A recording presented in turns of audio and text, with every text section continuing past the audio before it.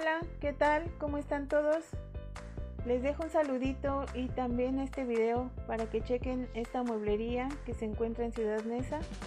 Les comento que yo pasé por ahí antes de que cerraran algunos negocios, así que si gustan visitar la página de Facebook de esta mueblería para más información.